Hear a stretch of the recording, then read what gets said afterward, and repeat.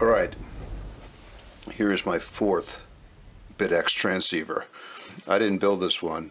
It was built in India by uh, by Farhan and his associates, including a um, collective of women who worked on parts of it. I think especially the the toroids. But this is a complete BitX 40 uh, transceiver. Those familiar with the the rig will recognize similar kind of architecture. You could see the bidirectional um, amplifiers here.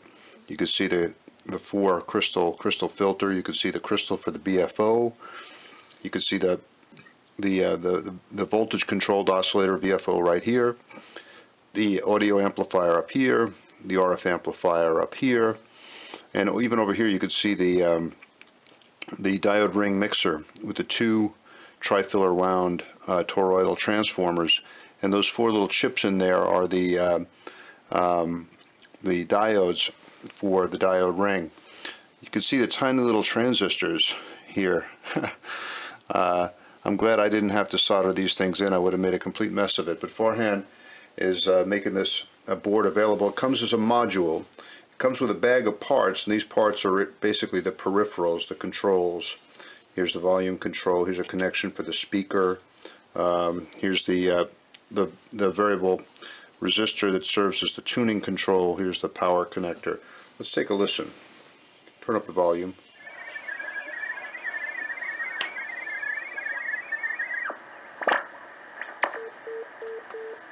It goes all the way down to the CW portion of the band, which is nice.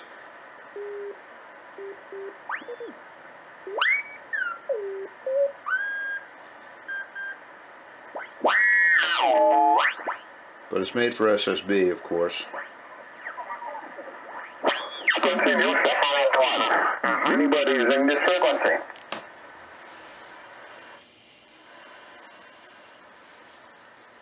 And this frequency is occupied in Victor Alpha Cooper.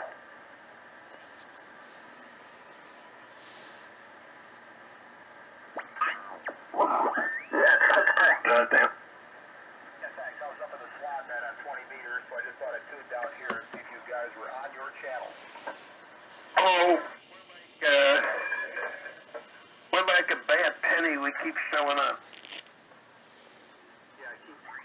Yeah, and I have it into ladder line, and um, I, uh, I actually had it. Uh, yes, for convenience, I put it into, and um, there's about 40 feet of coax or 30 feet of coax from the switch box into the tuner. So back to you, JA5C, IC, VA2DF.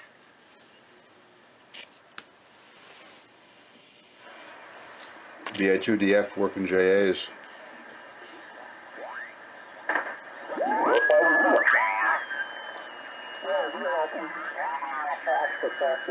We're amateur extra class here, and my reading shows that I'm transmitting at a frequency of 7.176. So uh, thank you for that. But yeah, we're on the amateur extra here. I was wondering, what is the uh, Now you see it.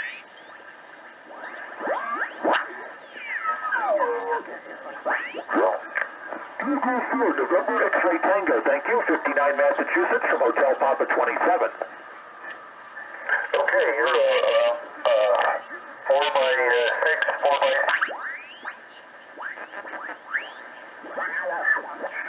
Go ahead. You're back to you.